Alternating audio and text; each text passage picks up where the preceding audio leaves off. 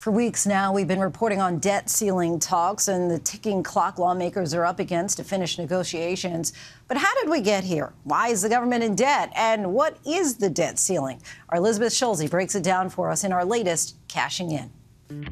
Try to picture $31 trillion. That's 31 with 12 zeros. You could wrap $1 bills around the earth more than 100,000 times with that amount. That's how much money the U.S. government can borrow before hitting the debt ceiling. Think about it a little bit like when you use a credit card. You're borrowing money to buy stuff like clothes, groceries, or plane tickets. And there's a limit to how much you can spend using that card. The government also borrows money to pay for things. Instead of plane tickets or clothes, it's Social Security, Medicare, public education, or military salaries. The government's limit to how much it can borrow is called the debt ceiling. The reason the government has to borrow money is because it doesn't make enough revenue through taxes to cover its expenses. If you spend more money than you take in, you go into debt.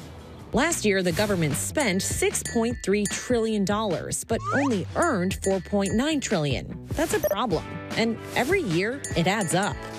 When the government's bills exceed that $31 trillion limit, it risks defaulting on its debt. It's important to remember that the debt ceiling is about the government paying its bills that are already due, not about current or future spending. Think about it a little bit like how your credit card statement covers your expenses from the past month. So, who's in charge of setting the debt limit? Congress.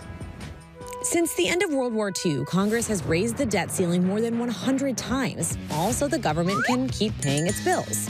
In its entire history, the U.S. has never defaulted on its debt. Flashback to 2011, just the threat of a default sent the stock market tumbling, while the country's credit rating was downgraded for the first time ever.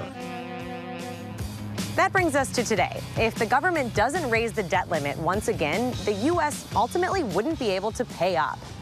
Meaning Americans couldn't get their Social Security checks. The cost of borrowing money, like taking out a mortgage, could spike. And businesses could be forced to slash millions of jobs. The day that that could happen is called the X date, and crossing over it could have a big impact, all the way to your wallet.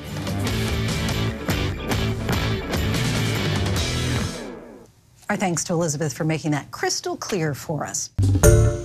Hi, everyone. George Stephanopoulos here. Thanks for checking out the ABC News YouTube channel. If you'd like to get more videos, show highlights, and watch live event coverage, click on the right over here to subscribe to our channel. And don't forget to download the ABC News app for breaking news alerts. Thanks for watching.